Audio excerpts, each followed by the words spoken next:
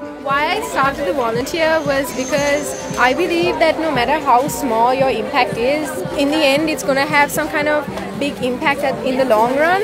And I had like three little three little stray dogs at home as well, and I just fell in love with the idea that you can actually change their life from that of living on the streets and trying to spend for themselves to living in luxury. And that's why I started to volunteer because I wanted to make a good impact in this the inside the dog stray dog community.